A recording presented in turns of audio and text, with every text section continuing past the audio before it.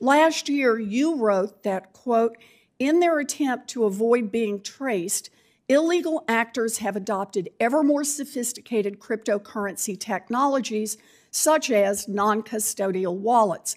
Так вот, какой у них план На финал этой антикриптовалютной игры. Но на этот раз происходит то, во что в прошлом цикле поверить было сложно и почти невозможно. Криптовалюта и биткоин в частности становятся частью политики, и о ней говорят самые сильные фигуры мира. И не просто говорят, но даже защищают. Например, сенатор США Синтия Ламис говорит, что некоторые антикриптосенаторы допустили серьезную ошибку, когда заявили, что Хамас привлек почти 100 миллионов долларов финансирования через криптовалюту. Реальная цифра не превышала 500 тысяч долларов. Также она поделилась интересной инфографикой, которая говорит нам о том, что на долю криптовалюты сегодня приходится менее 1% мировых незаконных финансовых операций. Поэтому биткоин под конец 2023 года становится сильнее во всех смыслах этого слова. И сегодня мы поговорим о выживании на бычьем рынке, а также о том, почему я решил больше не покупать биткоин, если только на рынке не произойдут массивные коррекционные движения. Также я расскажу, почему сейчас я обращаю больше внимания на эфириум.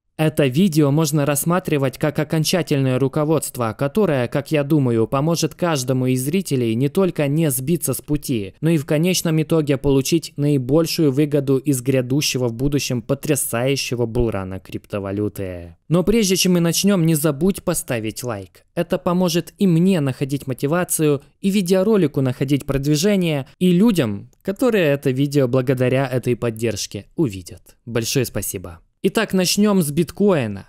В названии видео я написал, что я больше не покупаю биткоин, и это действительно правда. Время накопления биткоина для меня закончилось, и я могу легко это обосновать. Это график цены биткоина, а также 200-недельная средняя скользящая. И обрати свое внимание, когда цена биткоина касалась этой линии, это говорило нам о том, что цена находилась в диапазоне около дна. Это было в 2012, это было в 2015, 2018, 2020, хотя этот момент момент я считаю исключением из правил, так как он был спровоцирован коронавирусной пандемией. И также это было в 2022 и 2023 годах. Из этого можно сделать вывод. Идеальное время усиленно накапливать биткоин было как раз тогда, когда цена биткоина была на этой линии. А еще лучше под ней. Например, вот здесь ты мог накапливать биткоин за 200 долларов. А спустя 2-3 года ты мог продать его за 17-20 тысяч долларов. Вот здесь ты накапливал около 3000 долларов, чтобы спустя спустя 2-3 года продать за 60-69 тысяч долларов. Посмотри, мы были в этом диапазоне накопления с июня 2022 года по октябрь 2023. Именно поэтому я решил больше не покупать биткоин, потому что мы больше не находимся в этом диапазоне накопления. Но я с удовольствием куплю биткоин, если он упадет ниже этой линии. Это 28 523 доллара. И еще с большим удовольствием я куплю его, если он упадет до 15 тысяч долларов. Теперь, когда мы в этом разобрались, давай перейдем к Солане. Ведь она в этом году научила нас многим урокам. Давай разберемся, каким именно. Одной из основных монет, о которых мы говорили последние несколько месяцев, была Солана. Когда мы говорили, например, о том, что инвесторы покупали ее с наценкой 308% тогда, когда рыночный курс был 7,5 долларов. И сегодня я собираюсь поговорить об этой монете прямо сейчас, потому что ее поведение может преподать нам множество уроков. Во-первых, легко говорить на бычьем рынке, какая монета вырастет, потому что вырастет практически любая. Я бы с удовольствием похвастался тем, какие мы умные смотрели на Солану тогда, когда она стоила 7,5 долларов. Но нет, все, кто понимает этот рынок, и кто говорил о Солане, они знали о размере сообщества, о темпах его развития, о потоках капитала в фондах, инвестирующих в цифровые активы. И самое главное о том, что так много людей ненавидели и презирали эту монету. Прежде всего пойми, что гении и гуру бычьего рынка вернулись. И не позволяй себе попасть в ловушку, что в других участниках рынка есть что-то особенное, кроме того факта, что у них может быть больше опыта или что они работают больше, чем ты, чтобы понять этот рынок. Во мне тоже нет ничего особенного, я просто работаю на этом рынке уже 6 лет. И причина, по которой некоторым людям удается постоянно превосходить других на рынке – заключается в том, что они просто видели, как рынок повторяет одно и то же из года в год, и поэтому многие вещи для них становятся очевидными. Рынок движется циклично, и здесь есть более или менее предсказуемые правила движения. И такая криптовалюта, как Solana, подходит под многие из них. Так что урок номер один. Будь сам себе гением. Это не так уж и сложно, и надеюсь, что этот канал поможет тебе в этом. Ты не должен думать так. О, мне нужен этот криптоблогер, который все разжует. Ты должен развиваться самостоятельно, пока не станешь доверять своим собственным выводам гораздо больше, чем другим. Потому что в конце концов это твои деньги, которыми ты рискуешь. А я не финансовый консультант, но зато обожаю криптовалюты. Итак, это первое правило. Второе правило для следующего бычьего рынка. Не игнорируй монеты, которые все ненавидят, потому что ненавидимые всеми монеты обычно растут сильнее всех. И наиболее ненавидимая монета прошлого цикла, кроме XRP, конечно же, была Solana. Многие также возненавидели почему-то руну за все эти месяцы в 2023 году. Да даже биткоин ненавидели все то время, когда он топтался ниже 20 тысяч. И посмотри теперь, Solana 71% роста, Руна 93% за 28 дней. Сейчас я вижу много хейта вокруг эфириума. И вот почему он привлекает меня сейчас. Теперь я понимаю, что мне просто не до того, чтобы ненавидеть что-либо или держаться подальше от того, что ненавидят все остальные. Лично я хотел бы покупать монеты, которые сильно вырастут. Вот моя цель, а не ненавидеть их. И я заметил, что чем больше ненавидят проект, тем чаще происходит нелогичный взрыв цены, который еще больше злит людей, и они ненавидят эту монету еще больше после этого, а она растет еще выше. Почему именно так происходит, я не знаю, я ведь не доктор. Но могу сказать, что хейт монеты пампится очень сильно, а самая ненавидимая монета, которая на самом деле имеет сумасшедшие фундаментальные показатели и, возможно, является самым большим конкурентом эфириума, это Solana. И я видел множество злых комментариев под видеороликами, в которых я иногда упоминал Solana. Знай, если в комментах на монету льют тонну грязи, это может быть сигналом, что эта монета вырастет в два раза, в три или даже в четыре. Но давай вернемся к графику Solana, чтобы поговорить о пункте номер три, который заключается в том, что ты хочешь покупать тогда, когда проект выглядит мертвым.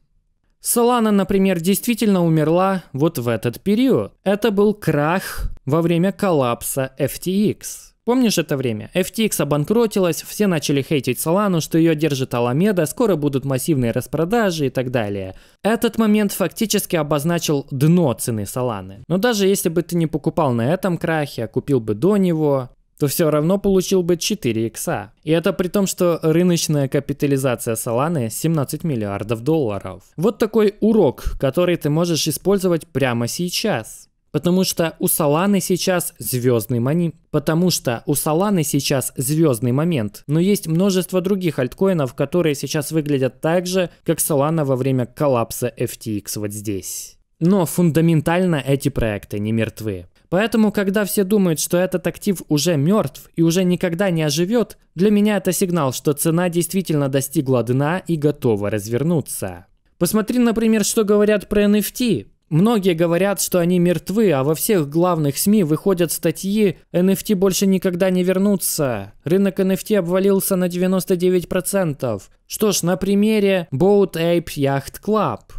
Еще месяц назад средняя цена была 24 эфира, а уже сегодня 30. Я не говорю, что эти NFT будут расти или падать, я не делаю прогнозов. Речь идет о том, что в начале осени 2023 все говорили, что с NFT все кончено, что они упадут до нуля. И после этого внезапно произошел разворот. Если ты следишь за криптоблогерами, например, за Бенджамином Коэном, очень толковым аналитиком, которого я предельно уважаю и его контент мне нравится, уже не первый месяц он освещает график эфириума, по отношению к биткоину. И в последнее время он говорил, что этот график будет падать. То есть эфир будет падать по отношению к биткоину. И как мы видим, он был абсолютно прав насчет этого. Даже несмотря на то, что эфир растет по отношению к доллару, биткоин к доллару растет гораздо быстрее. Я не удивлен, что на этом фоне появляется огромное количество людей, которые говорят, что эфириум это мертвец, он больше никогда не оживет. Эфириум это мусор, и он будет падать еще ниже по отношению к биткоину. Сейчас он стоит 5 сотых биткоина, а упадет 3 сотым биткоина на основе вот этой модели распределения по Вайкофу. Иными словами, эфириум считается сейчас медвежьим, и ему предстоит падение по отношению к биткоину. Что ж, это вполне себе возможно, но я просто говорю, что когда настроения имеют тенденцию достигать таких крайностей вокруг монет, которые очевидно не мертвы, и у себя в Телеграме я описывал развитие эфириума, на которое мало кто обращает свое внимание. Возможно, это значит, что пора обращать внимание на такие монеты. Опять же, я считаю, что эфириум обязательно должен быть в любом криптовалютном портфеле. Вот о чем тебе нужно знать вкратце. Первое. Ты должен быть сам себе гением бычьего рынка. Не нужно доверять СМИ, каналам, блогерам, воспринимая их как развлечение в том числе меня. Второе. Ненавидимые монеты очень легко ненавидеть, потому что наверняка есть какая-то реальная причина их ненавидеть. Но сделай шаг назад, выдохни и попробуй понять, ради чего ты здесь. Ради какой-то идеологической войны со случайными альткоинами или для того, чтобы инвестировать в монеты с фундаментальным развитием, которое так или иначе должно привести к росту цены и приумножению твоего капитала. У нас и так хватает ненависти ценностей, поэтому я больше заточен на поиск сильных сообществ, которые смогут ее преодолеть и даже получить из нее выгоду. И по-моему здесь я говорю не только про криптовалютные проекты, просто такое ощущение есть. Тем не менее, Solana в этом году идеальный пример. И мне кажется, что Ethereum и XRP тоже время покажет. Третье. Покупай тогда, когда все кажется мертвым. Это лучшее время, потому что, вероятно, на бычьем рынке гораздо больше шансов получить шикарный рост от монеты, которая начинает этот рост с очень низкой цены, чем с астрономически высокой. Четвертое. Создай несколько портфелей. Основной должен состоять из активов, которые, по твоему мнению, даже в самые плохие времена обязательно отрастут на новом булране. Например, биткоин, эфириум, золото, акции какой-то компании, в которую ты веришь и так далее. Если у тебя есть такой портфель, ты будешь спать спокойно по ночам, а не умирать от каждого движения вниз на медвежке. Ты уверен, что этот портфель вырастет и поэтому тебя ничего не беспокоит. Второй портфель состоит из активов, которые, как ты думаешь, могут показать просто взрывной рост. Чуть ли не 100, 200, даже 1000 иксов. Это монеты с небольшой рыночной капитализацией. Но одновременно с этим здесь существует невероятно огромный шанс, что эта монета упадет до нуля. Поэтому этот портфель должен быть широко распределен. Например, по 100 долларов в каждую монету. Если таких монет 10, то тебе нужна только одна, которая вырастет в 10 раз, чтобы окупить все твои вложения. На прошлом бычьем рынке такой монетой лично для меня оказался Sandbox, который я покупал что-то в районе 4 центов, и он принес мне 200 иксов, когда вырос до 8 долларов. При том, что многие другие монеты до сих пор приносят мне лишь одни убытки. Честно говоря, если ты работаешь много и изучаешь много, то 10 иксов на одной монете из 10 в таком портфеле это будет очень скромный результат. Ты сможешь добиться гораздо большего. И наконец, пятое, последний урок. Здесь заключается в том, чтобы контролировать свои эмоции. Эмоции – это ключевой момент, когда ты чувствуешь синдром упущенной выгоды. Как сейчас, например, с Соланой. Уверен, многие люди сейчас его чувствуют. О нет, я пропустил Солану. Может надо купить прямо сейчас на этом пампе, чтобы успеть заработать хоть что-нибудь? Все, что тебе нужно сделать сегодня, это осознать, что ты слишком взволнован, что ты упустил этот рост и так далее. Если ты способен быть честным самим собой и своими эмоциями, и можешь прямо сейчас просто написать на бумажке бумажке «Я чувствую себя опустошенным из-за того, что пропустил рост Соланы», это поможет тебе в будущем, поверь. Это поможет тебе осознать, что погоня за этим пампом – это уже жадность. Это буквально самая убийственная эмоция. И посмотри, какие все жадные. Прямо сейчас. Какой жадный рынок. Это правило работает и наоборот, когда ты чувствуешь максимальный страх, как, например, в июне 2022. Покупать очень-очень страшно, страшно как никогда раньше. Но покупаешь вот здесь внизу, продаешь вот здесь вверху. Говоря про эмоции. Очевидно, что то, о чем говорит сенатор, на самом деле является самой главной, основополагающей технологией – не какой-то там новой, только что придуманной, типа ординалов, NFT, DeFi, нет. Самое первое, что мог делать биткоин, это позволить тебе хранить его монеты самостоятельно. И это оригинальная цель и идея всей криптовалюты вообще. Вернуть тебе право хранить твои собственные активы. И теперь они явно не хотят, чтобы мы владели своими собственными активами. Это как раз то, чего они боятся. И, конечно же, этот видеоклип показывает, какова реальная цель всей этой антикриптовалютной риторики. Они не хотят, чтобы мы вообще владели чем-либо. Для меня этот самосуверенитет, право собственности, называй как хочешь, это самая главная привилегия криптовалюты. Ведь я хочу чувствовать, что я сам контролирую свою судьбу. Просто сказать, эй, смотри, я владею токенами сети, это прозрачно, это защищено, это доказано. И я могу сам их хранить без необходимости доверять кому-либо. Когда ты идешь в банк, там такого права у тебя нет. В любом случае, эмоции подобного плана среди некоторых сенаторов США, скорее всего, будут накаляться, потому что это первый раз, когда криптовалюты действительно начали воспринимать серьезно, как класс активов. И именно поэтому они получат реальную оппозицию со стороны высшего руководства не только США, но и других стран. А это значит, что будут безумно страшные заголовки в будущем и, возможно, страшные дни на рынке, когда будут происходить некоторые катастрофы. А если они будут происходить? Будут и эмоции. Эмоции, с которыми тебе придется научиться работать. Записывай свои эмоции в блокнот, пиши когда и на каком фоне и что ты чувствовал. За годы таких наблюдений ты не поверишь, как изменится твое отношение и к себе, и к своим эмоциям, и к происходящим событиям на рынке. Более того, ты станешь намного более уверенным. О, сегодня я испытываю такой сильный страх, ведь какой-то сенатор хочет запретить криптовалютные кошельки.